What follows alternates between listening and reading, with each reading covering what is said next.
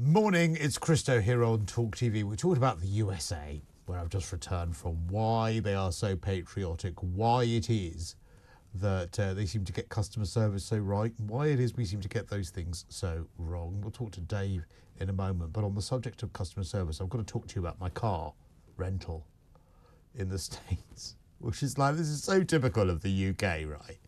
So, has anyone ever dealt with Avis? Avis, have you ever dealt with Avis? Oh my God, they're diabolical, right? So I was very organised because I get very organised when I go on holiday, and I, I, I, I rented my car. We needed a car for a couple of days, right? And you know, my mother joined us in Dallas. So on the Saturday, my mother came out and joined us. Yeah, thanks for that, mum. And um, I was going to pick her up from the airport. So I'd arranged quite meticulously that I was picking up my car at 1 pm on the Saturday, right? To go and get mum from the airport. And we were going to return it on the Monday after I'd been to Southfork. And I was picking it up from the Avis office, right, in this hotel, right? So I turn up at the Avis office and I get there, I mean, in fairness, I get there about five past one. You know, I'm a few minutes late, but it's fine. And the office closes at one o'clock. And the pickup time that Avis UK arranged for the car was one o'clock when the office was closed. So I get there and the office is closed. And I'm looking at my thing going, and, and it says the opening hours of the office are till 1 p.m. And I look at my thing and it says it's, it's a, the pickup is at 1 p.m.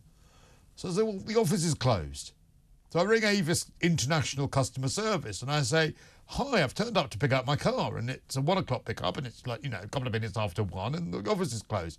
And they're like, oh, yeah, yeah, the office closes at one. I said, well, why did you arrange a pickup of a car at one o'clock if the office closes at one o'clock?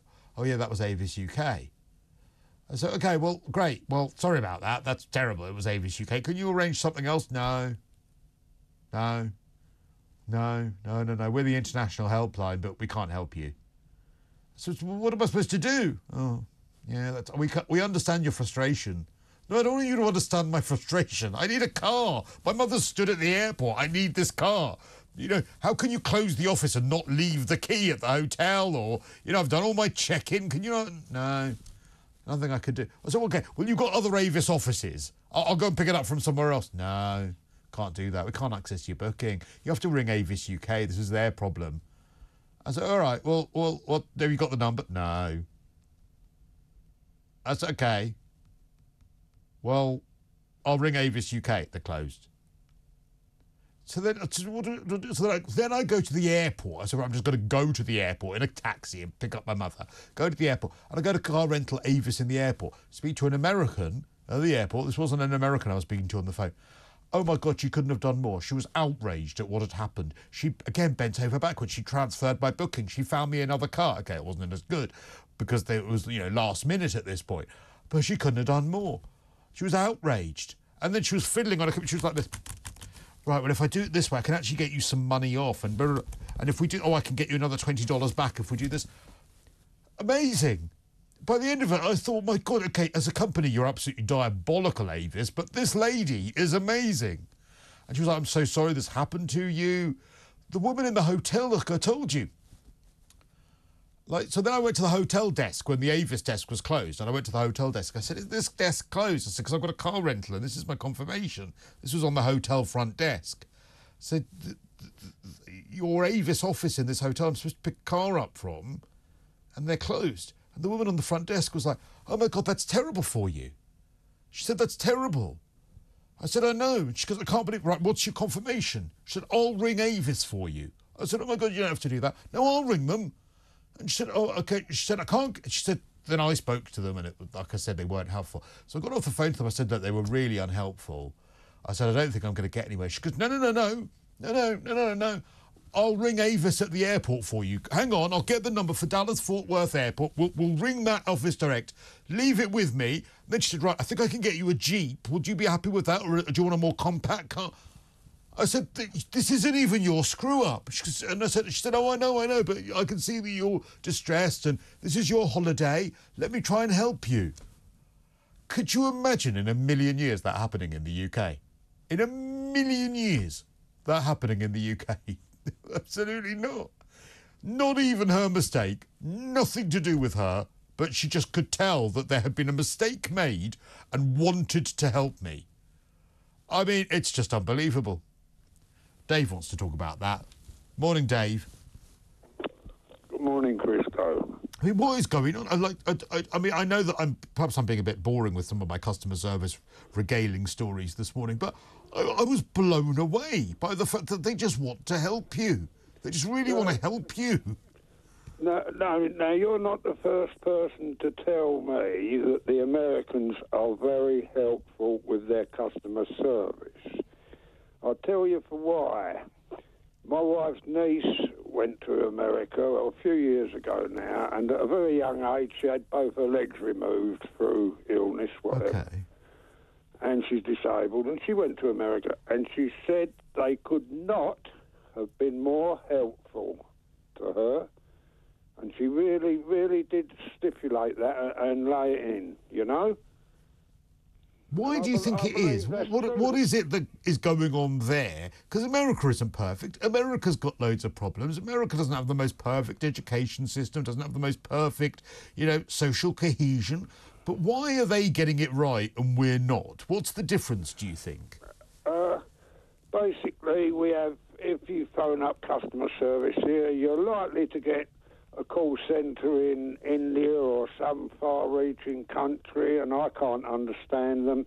I can't understand a word they say, which makes me very irate, to say the least. And I end up getting nowhere. All right, but but but also every story I've given, and I, I get what you're saying about some of the call centres and and there being that language barrier, but I'm talking about face-to-face customer service. I mean, I'm talking about people right in front of you. You go up in a supermarket and ask someone here in the UK where something is, they look at you like they've asked them for a kidney. I know. You, you go, you do the same in the US, and you know they show you, they put it in your basket for you, they take you to the till. They they they, they couldn't do more for you. Yeah, I know. And what I was going to point out actually was uh, customer service at the doctor's receptionist. It's it's not, I don't know. It's like going through customs. Oh, uh, if we had all the receptionists, doctors' receptionists that I've met anyway, if we put them in the Home Office in charge of the illegal immigration, the asylum seekers, my God, there wouldn't be many get through the net. Well, I tell you something. That's the only place where they were they were really nasty pieces of work was the immigration and and and and, and um, you know what is it called Homeland Security people at the airports. They're the only ones which were were really unhelpful and quite nasty in were in the states. And a part of me was like, well, I kind of get it. I think you need to be like that. I think you actually need to be a little bit um, unfriendly in those roles because that's your job. You're not in that job to make friends. Um, and that was that was the only part of it where I thought, oh, you're you're horrible. You're all absolutely horrible. Well, poss- possibly so. I mean, they must get a few, uh, let's say, things thrown into them when, when you know, if your court was trying to get stuff in or, or if your paperwork isn't correct. It can't be the easiest job in the world, can it? No, it? but I also just don't think. I think they're impenetrable, if that makes sense. I just think that they they are are not there to make friends or be friendly. They're there to do a job, and that is to protect the U.S. border. And they they don't care whether you're nice to them, friendly to them. They just care about protecting the border, and and I think that there's a lot to be said for that. There's a lot to be said for that actually, because they're actually doing their job as they should be, and you know, Well, that, put it this way, we could do with that here now, couldn't we? well, I I think that's the point I'm making. Actually, they don't they don't. There are certain roles where you shouldn't actually be all nicey nicey, and that's Yeah. probably one of them. I mean, okay, when you're going through security, it'd be nicer if they were, uh, you know, cracked a smile now and then. But in general, they, they don't care. They really don't care. Like at one point. So we queued to get through security to come back from Dallas in Fort Worth Airport, and we've been queuing for ten minutes, and then they said, "Oh, sorry, we're closing this queue. Go over there." And we said, "Oh, okay. Well, we're queuing for the scanners. We've been queuing for what, quite a while. Don't care. Yeah. Don't go over there. That, that that that they we've got sniffer dogs over there. We want you all over there. We want to make sure that that that, that you've all gone through the sniffer dogs because these scanners are taking too long. Go over there." And I said, uh, uh, uh, "Go over there. They don't take any Yeah. claptrap." Cristo, I'm old enough to remember the days when police officers, if there was a bit of a fracas anywhere, at a dance or in my youth or, or wherever, Southend on Sea with the mods and rockers, the police couldn't wait to get involved. They would steam in there. Now, uh, stand back having their Mars bar. Yeah, they, they, they, there is that that that problem, isn't there? Whereas in the states, there's you sort of maybe it's because I was a foreigner, but I- I kind of ended up going, oh, all right, because like you kind of revere them a little bit because maybe because they got guns. You think, well, I'm not going to mess with you, but but they don't take any of your rubbish, and you know you can't push it with them. So in the end, I said, "Oh, okay, right, I'll go and queue over there then," and and I had to go through with all the sniffer dogs and everything like that. And and like I say, I think that there is a little bit of me that thinks you've probably got the right idea because they don't care. They, they really don't care. They're not there to make friends. They don't care. That's correct. Yeah. It's the, the correct way to be. Well, in that role, it probably is. Nice to talk to you. That is uh, Dave in Essex. Let's do a couple of the tweets and the texts. Um, John says, Happy Easter. It's nice to have you back. Oh, yeah, it's Easter this weekend, isn't it?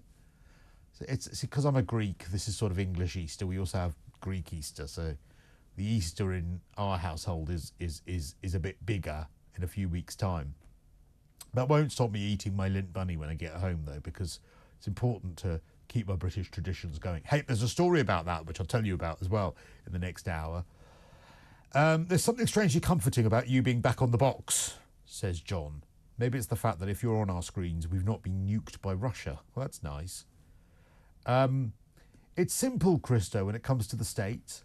There is a national identity to build a foundation on. Um, we've allowed ours to be pushed aside, and voids will always get filled. Because that's the thing, Den. Because I am keen to point out that that I don't think you can just blame immigration here, because America is a nation of immigrants. But somehow they're managing to do it whilst keeping patriotism. Because you, honestly, talk to if you talk to the Mexican chambermaid, probably on the lowest wage in my hotel, but she was a proud American, you know. And I'm sure that that Mexican chambermaid probably doesn't have the greatest life, certainly doesn't earn the greatest amount of money, but that Mexican chambermaid was an American. Do you know what I mean? And so they seem to be able to distinguish between the issues that immigrants face, yet still have so some sort of cohesion when it comes to their national identity. And I think on that you're right. And, I don't know why, seemingly, and maybe I'm wrong, we don't seem to have that here anymore, which manifests itself in stories about people being complained about that raise a Union flag. Whereas I tell you now, some of those immigrants that I spoke to in America, um, they they seem to still acknowledge that they're really American, even though they acknowledge the issues that they have in the states. I mean, the girl I was talking about that was bending over backwards, um, sh- she was non-white, and and so I ended up getting quite you know friendly with her, and she was saying, "Oh God, I'm American." I was like, and, and she was saying exactly what I'm just telling you. God, America's got loads of problems, but I'm American. You know, I, I defend this country to the hilt, but I understand that things aren't brilliant here sometimes, and there just seemed to be this underlying sense of patriotism that I'm not sure that we have so much here. And it was it was nice to hear it. It was nice to hear someone who was you were able to have an adult conversation with, who was able to say, "Yeah, America's got this, this, and this as a problem, but I'm still American and I still love it." And and that balance